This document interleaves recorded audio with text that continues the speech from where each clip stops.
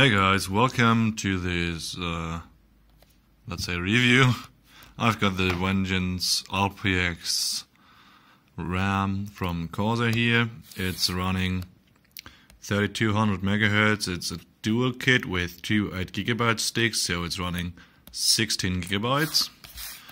Um, this is one of the two packages I have, and I've tested this with both 16 and 32 gigabytes. So here we have it. This is the kit. And this is the back side. There you got the number, so that's CMK16G X4 M2 B3 200 C16. What does it mean? That's 16 gigabytes X4 Um, M2B 3200 CL16. Timings you can see here.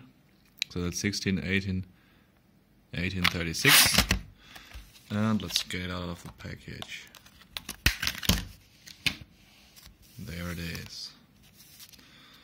So I'm using the Crosshair 6 Hero mainboard for this RAM and I used the BIOS that is the number 1002 and when I put in 16 gigabytes that means these two sticks. And I could achieve the advertised 13200 that this kit offers. When I put in four of these I couldn't reach that anymore, and I was stuck to 2666. Um, I tried all my games like Battlefield 1, Battlefield 4, uh, Paladins, and whatnot with Chrome open and whatnot, but I couldn't manage to get use of the extra 16 gigabytes. I could not make use of it at all not even with Sony Vegas video editing, it just doesn't use much RAM. So what I did, I, I popped these two out again, and I'm running the other two that I've got in the main system at 3200. And well, I just wanted to do this so you guys know that if you get four of these, you can at least run 2666 megahertz. Obviously, that's the overclocked speed, so you need to dial in 1.35 volts. Also, this is the version 5.39. What that means is Corsair put out different versions of this Vengeance LPX 3200 RAM in this kit size so you have to watch that. This RAM is actually on the QVL of my mainboard, so I basically knew that it was a, that it was running at this and would be running at this. However, on the QVL it just says two uh, two times eight gigabytes.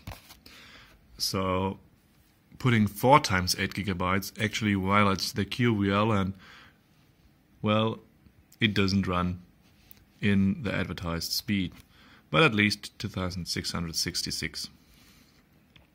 I did BAM test on all of the four DIMMs, and actually this one is an older one because it says it's made for Intel i5 and i7 6 gen processors, but it also does work with Ryzen. So no worries there. The other one is a new, brand new kit that doesn't say this and it just works the same. I believe they just changed the naming on the sticker so Ryzen buyers don't get confused because earlier there was no Ryzen lineup where you could match this RAM with, just just Intel. Um, yeah. So, but I guess they just updated their sticker to do not confuse Ryzen buyers. Here we here we see that's 2015 RAM. So it's basically two, two years old by now, but it has a limited lifetime warranty. In Germany, that's 10 years, so that shouldn't be an issue. So we basically got guarantee until 2025, and here it says again what is on the sticker although this is printed on. So Intel Core i7 Extreme and Core series. Yeah. I did an SPD um, and this is single rank. I don't know what I don't I don't know whether it's Samsung B-die but it's single rank and that's basically the reason why Ryzen is so happy with it. Now, see you guys. Bye bye.